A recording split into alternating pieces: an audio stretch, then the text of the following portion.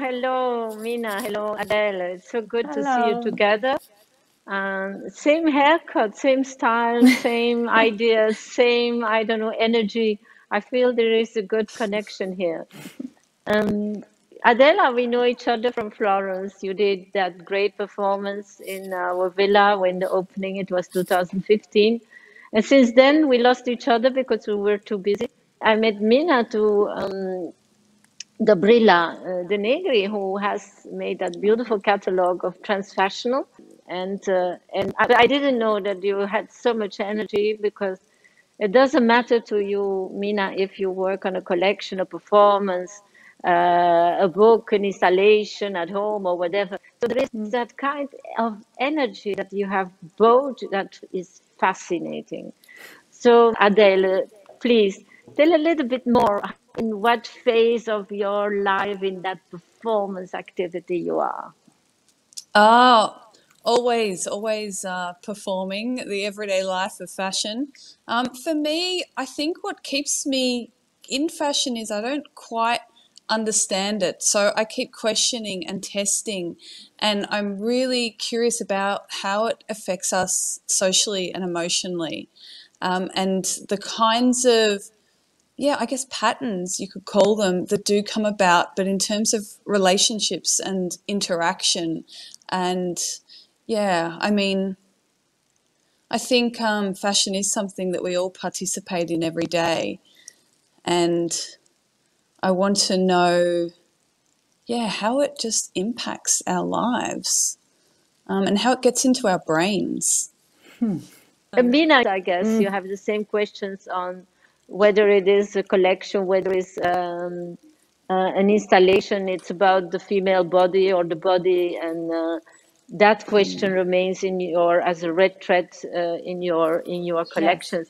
So please, a little bit your evolution in your work. Oh, the evolution of my work. Oh my God! Uh, in a, in a quick way, I first have to say the same thing as Adele that uh, I really don't get fashion. It frustrates me and it confuses me and it makes me extremely happy at times, but I don't get it. So I'm also really just exploring and and, and experimenting around the questions that I have around the whole system. But uh, it, my my project with the body started uh, that I just found this sociologist called Mary Douglas who said something about we all have two different bodies, an intimate body, which is the one we actually have and we maybe don't show to too many people. Then we have the social body, that is the one we in different ways present our body to the world, like through clothing or working out or corsets or whatever it might be. And I took her words and I just out of context and made them mine. So it started with working with the clashes of what we what we have and what we want to have and what other people are expecting from us. And this is a, a theme all the time. But I'm also very interested in the whole system around production and consumption, which I think is uh, just crazy. Uh, so actually, a year ago, before uh, COVID nineteen, I started working on uh, a project called Under Pressure, where I'm squeezing stuff in through. It's a press machine. It's very known in the Nordic countries, but through the months I work, no one knows it in the world. It's called a mango, but it's like you roll stuff in in under pressure and crease. I make creases and so yeah, I work with that pressure that we're all under, and the pressure is unfortunately just getting worse. How we handle with pressure, with the pressure, um, Adele, in Oh, yeah. Um, I think there have been elements of pressure. We did a pretty intensive um, stage four lockdown, but it's also been incredible the sense of community and how I guess the pressure has brought people together. Almost like Minna, I know you're. Um, I was looking at your work with the creases and folds. It's almost like, yeah, kind of moving in and out of those dark and light spaces. yeah. But I feel like we're doing it more together. So there is a positive side of all this misery. Minna, can you uh, can you feel that you're further away of the fashion system again, uh, further out of it, or or do you want to go in and make it and, and make a statement? I've been going back and forth. Uh, I started outside of it. I actually never went to fashion school. I went to like clothes making and then textile art school. So I've never done the fashion thing. I don't. That's why I'm really confused because I've never learned how to do it. So so I've been trying to be in the system and f- fight from within, and I think I still do. But I've been taking a, ba- a step back because I try to do the production and and everything and it's too stressful with like uh, making collections all the money all the time all the logistics around it. So now i'm again working more organically. Um, so i think again i'm more outside of the system. I'm not sure i was ever really in it. I'm not i'm not Mm, sure no, to be honest. No. But it's uh, decisions to take, I think, for designers. They are taking decisions like, no, this is not for me. I'll do it on my own, on my own rhythm, and on my own identity and personality and integrity. And I think that's the most important thing that is going to happen. As an artist, do you have the same decisions to take, Adela, or are you more free? Oh, well, no, I think there is a system within, um, you know, being an artist as well. But I was just thinking, Minna, just quickly about what you said about the fashion system, like being out of it. I don't know, like I personally feel like that's kind of hard to do because I guess I'm someone who thinks that we're all, you know, if we have clothes on the, on our bodies, we are playing a role you in, know what in the it's, it's system true yeah yeah fashion. Um, but I guess like yeah, and being an artist as well, and I think I'm trying to, uh, well, be part of it, but also try to step out of it. I feel like it's a system that maybe we're all in, and it can actually be hard to escape or step out of to reflect on. Um, sorry, Linda, I'm not. I don't know if I'm answering your question. It was more about being an artist, um, but for me, I guess these kinds of things, these the trying to understand fashion is probably my primary question at the moment. Um, but I do feel that yeah, within art there is there's there's also I think um, a, a system within within making work.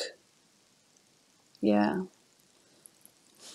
you have the art gallery, you have the art fairs, you have the art uh,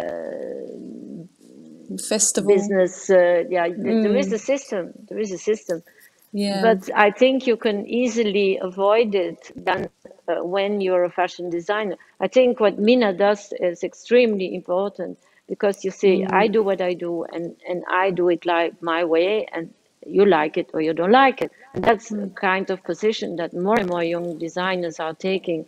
So I think there is a new movement that is going to happen. And we are part mm, of that. I think I'm very happy that finally we mm. can talk again to each other without talking about our press agent and our how we have an interview in Vogue or not. Doesn't matter. Oh. hmm. Yeah, like I think also, I mean, yeah, I, I'm feeling more of a sense of maybe hierarchies and things like that being potentially flattened. Is it? And I think Yeah. well i'm hoping for i'm hoping for that I'm, as well. I'm hoping for that too. Yeah, because if I can, I, I've been, I've, I've had a really great um, autumn actually in this horrible situation because I've been part of a takeover, like an artist takeover, uh, with just women and non-binary artists taking over a huge space in the posh central area of Stockholm because so many, so many uh, places are empty because everybody is going bankrupt and people have to move out and and we would never be able to be on this address but this amazing woman called Paula Bjäringer uh, made it all happen. Uh, and I would say what you see there is that every this crisis is, is hitting on all levels so also the ones with the posh places in the posh areas are sort of going bankrupt and then we can sneak in there and do something else and I think it's at least something is happening to the expected hierarchies, and I hope that will continue for sure. Mm. I, I know because like I also wonder if that's it's got something to do with communicating online as well. Like I feel like I'm, you know, here we are and we're in a virtual environment. Um, but in some ways, I think I, I just wonder how that shifts that idea of hierarchy as well. If it is, you know, if we're sort of like avatars, you know, Yeah, I don't know if we're avatars. Yeah. Uh, but just kind of, I feel like this virtual environment's also created lots of opportunities uh, to connect. Um, and I think there was a, a question from Linda that was a bit about. Oh, let me let me go back through my notes. or maybe Linda's got it there. uh, but I think it was about um, if we can connect um, or interact more often with cultures and um, yeah, I think keyword there was yeah, just that that connect that word connection, um, and if it is locally or globally, um, I think it needs to be both. I think this is amazing. We we sit in different parts of the world and have this discussion when we have very much the same thoughts.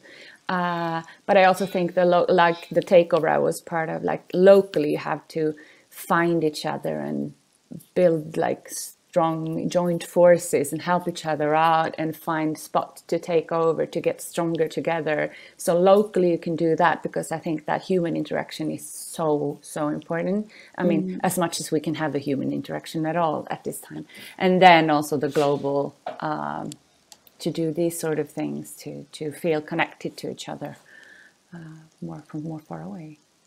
yeah, I, I, I guess like from that that idea as well, I was just thinking, what happens locally if you can't find your tribe? Like if you are someone who you know, might not find people locally that share similar, I don't know, That's a very ideas. sad, Or, sad thought. Yeah. Of course, that must be yeah tough. so I was, uh, yeah, I, I was just thinking about like these, how I guess online and virtual spaces can kind of bring people together or bring you closer to people who uh, might be more.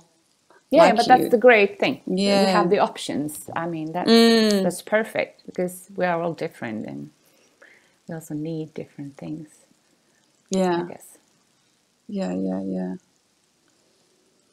Well, I think more and more the designer is part of an artistic community. The photographer, the filmmaker, the the the, the performing Uh, that you both both do is coming more and more into the fashion field as well. Everybody is now performing, dancing on on on TikTok and whatever, and doing films and instead of, of fashion shows.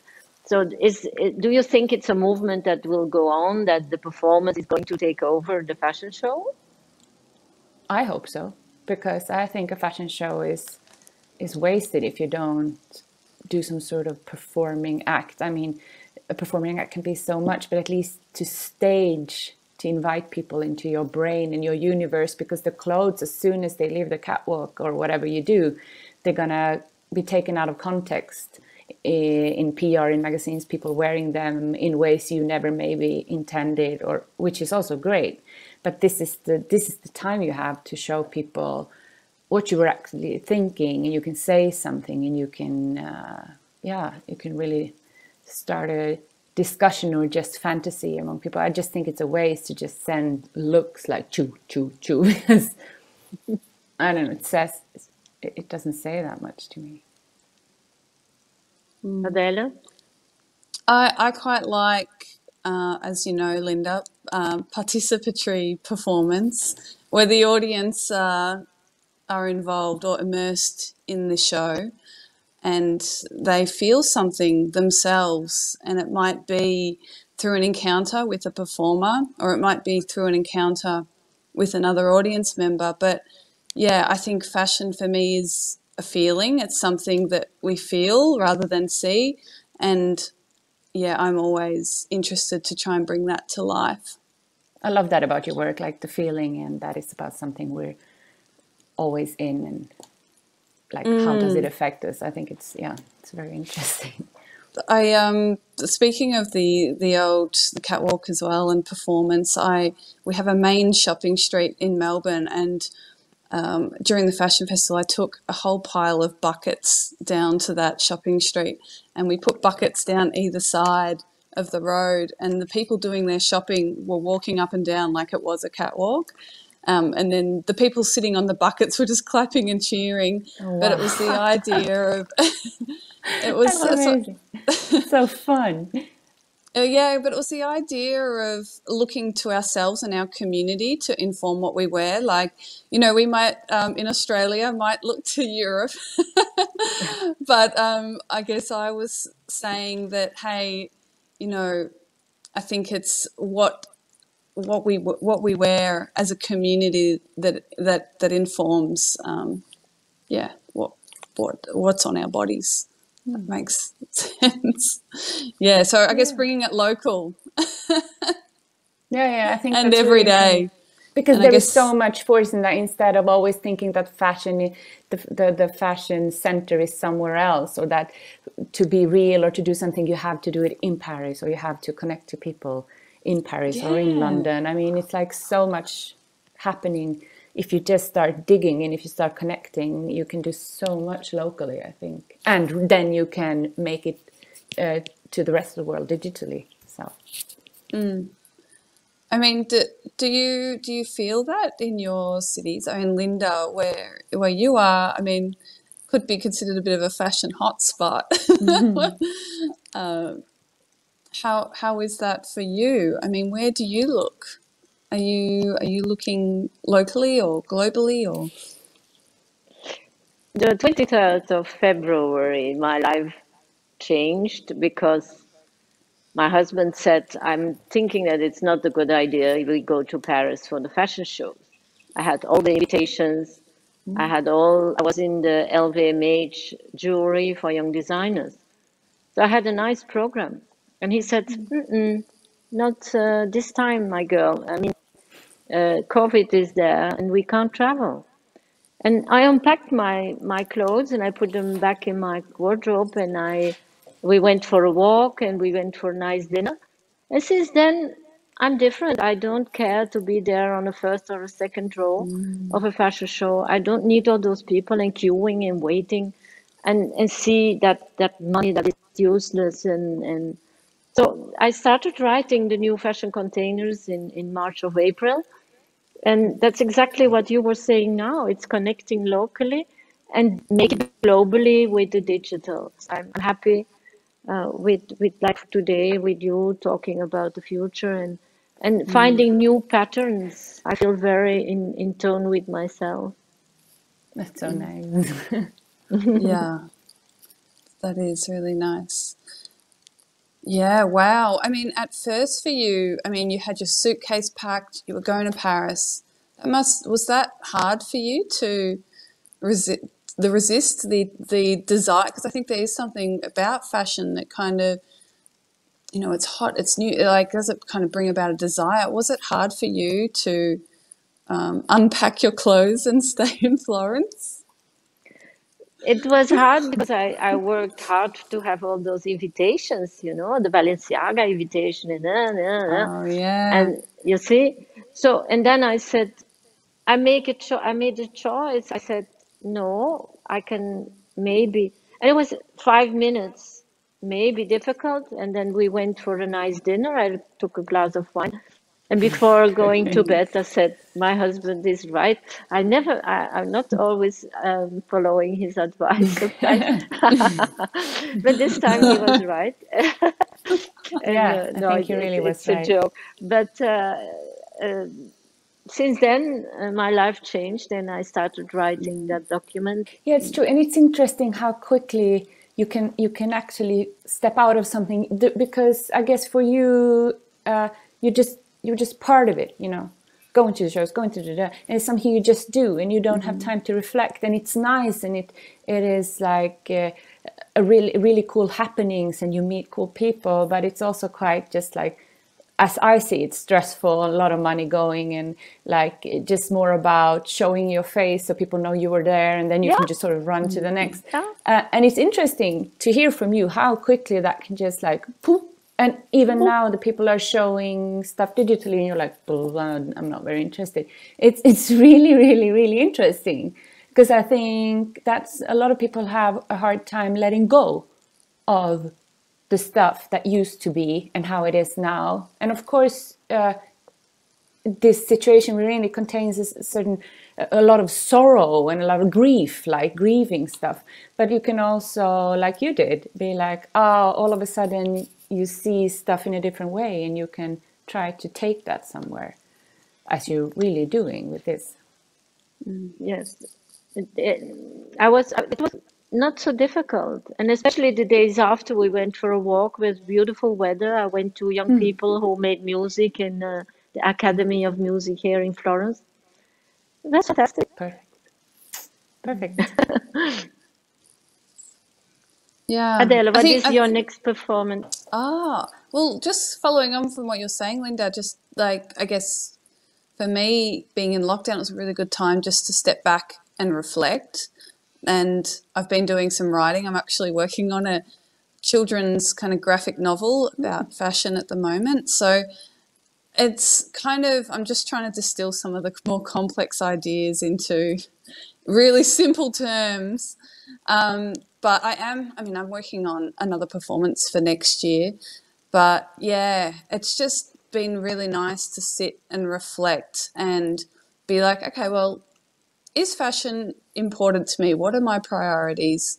Um, I'm like, yes, fashion's important to me. I think it, I think it's so important how it affects every individual um, you know, and how we how we perceive ourselves. It's massive. I think fashion's a massive thing that plays a huge role in our lives, and I feel like my work is not done there yet. No, it's not. Luckily I'm for us. yeah, exactly. Oh. yeah. Are, are you going to do a project together? Oh, that could be something. Let's let's We talk about could. that. Oh my god, yeah. We could maybe. this- yeah, yeah, yeah. It's interesting. It's really interesting. Could we do that both locally, but then it's sort of emerges? Oh, we talk about that. oh, we ah, can always, would be yeah, I think there's definitely some crossovers. Is this Yeah, was this a hidden agenda, Linda? Is this Yeah. like a secret speed date? Oh, that's nice though. It's nice. I mean, I, you both you you have so much in common. It's unbelievable.